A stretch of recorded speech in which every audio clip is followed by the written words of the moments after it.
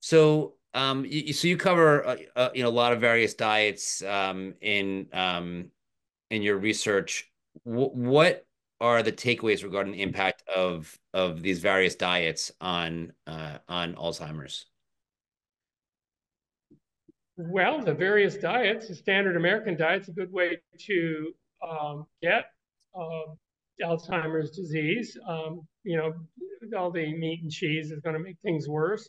Uh, paleo, keto, and all of those heavy meat fat diets would be just horrible because it's also true that it's not just Alzheimer's disease, it's often coexisting with vascular dementia, where the arteries are clogged up in the brain, just like they are in the heart. And so it's difficult, we call it perfusion, for the blood to get in there with oxygen and glucose and clean out the waste and do its job. It can't get there because you're all plugged up from too much saturated. So any high saturated fat diet is going to be really bad for the brain, plus all the pollutants in that fat from, you know, the environmental pollutants that are bioaccumulated in the animal fat. So those would be the, the worst diets. The best, of course, would be whole food plant diets. Now, I don't have a problem if people want to eat a little bit of kind of easy vegan foods. They vary. And as my wife pointed out, if you read the label, make sure they don't have coconut oil or too much uh, saturated fat, then most of those are dramatically healthier than the meat alternative. So, you know, a lady in the clinic says, well, I can eat a hamburger or I can eat your processed fake hamburger. And that's got to be worse, right? And so I, I went over the studies that where you get, you know, 250 times, 250% chance increased risk of heart attack.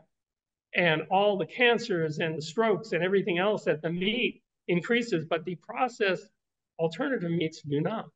So it's okay for people to transition with familiar foods and then get into like my wife's cookbook, the Dementia Prevention Cookbook, also available on my website, where people can have recipes that are even healthier than the alternative meats or cheeses or milks or ice creams.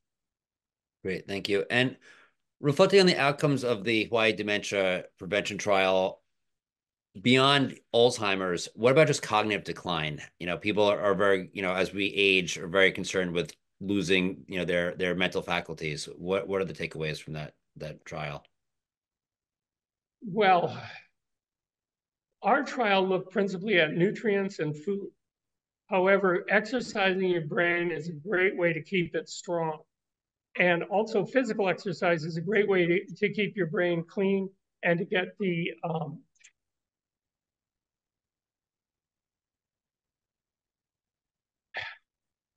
sorry, uh, distraction there. Um, antioxidants are really good to keep your brain sharp too. And for that, fruits and vegetables, beans, nuts, and seeds, anti-inflammatories are in all of those plant foods if they're whole, uh, but perhaps a lot less if they've been processed a bunch. So, you know, beans are just a wonderful food, and they have anti-inflammatories, antioxidants, and really healthful, and there's lots of ways to cook them so that they don't bother your digestion. So these are the ways that we can keep our brain sharp. Use it, exercise, and eat whole plant foods and keep those saturated fats low so you get good blood to your brain. So, uh, according to the research of uh, Dr. Michael Greger, um, alcohol consumption is a leading cause of death and disability. Uh, the safe, according to him, the safest level is none. Do you recommend zero alcohol? And um, what about all the studies that say red wine is good for you at some level? well, um, I would say that red wine is one of those uh, things that has both good and bad effects. So you have to look at the pluses and the minuses. Um, now, stress and anxiety are tremendously difficult for the brain we have many times found that when people reduce their stress and anxiety, that they are thinking clearer. And so if a glass of red wine in the evening reduces your stress and anxiety, that can be a helpful tool. However, Michael Greger has a point that any intake of alcohol increases your risk of specifically a few cancers such as throat and esophageal cancer.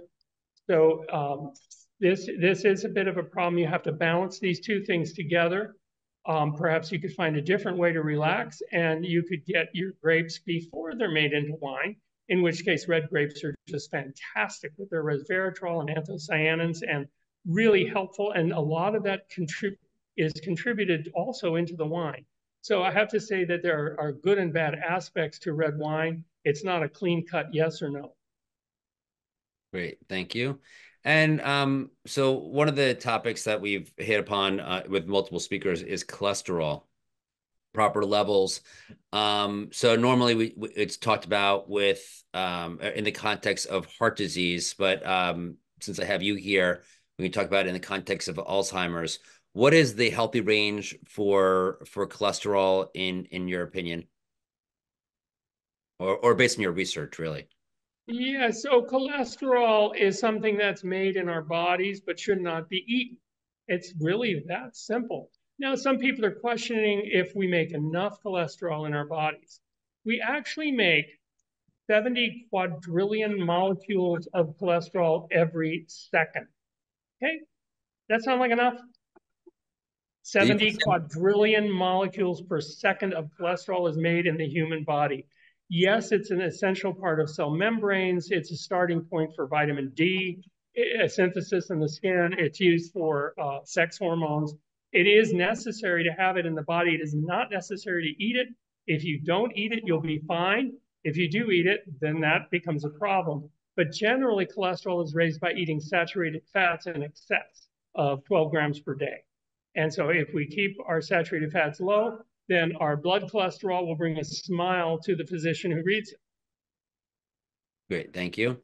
And what are the essential medical tests that you would recommend everyone to consider getting regularly to ensure optimal health and early detection of potential health issues?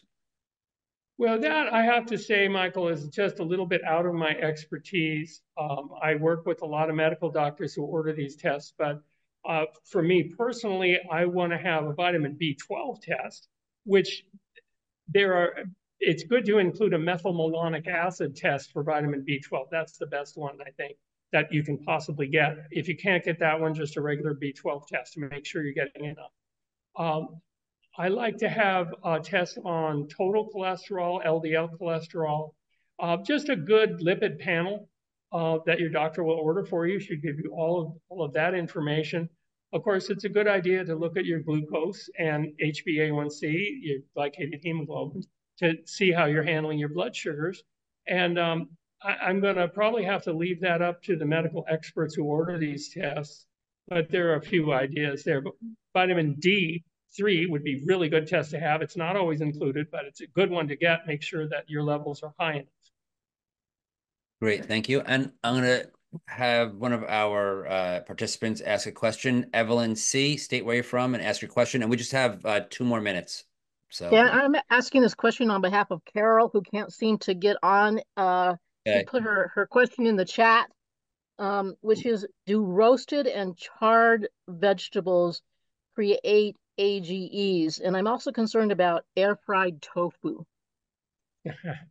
well, you're in luck because uh, advanced glycation end products require um, a Maillard reaction, and that simply can't happen with the presence of water. So your tofu has lots of water, your vegetables have water. You can barbecue, broil, or well, preferably not fry with rancid oils, but you could barbecue or broil those, uh, maybe a shish kebab of vegetables, uh, tofu, uh, mushrooms. You're making me hungry no advanced glycation end products will form. So um, we've got one minute left. uh, do you have any closing thoughts? What you would leave, like to leave uh, our, our, participants with? Well, I just want to say thanks. Thanks very much for listening. Um, I am here on the west coast of Mexico in the Biblioteca Digital, and uh, I'm grateful to La Presidenta for allowing me to use this facility today. And thank you, Michael, for your kind words and uh, and for the, the good job of moderating this. Thank and thank you, Carol Casal, for your comment.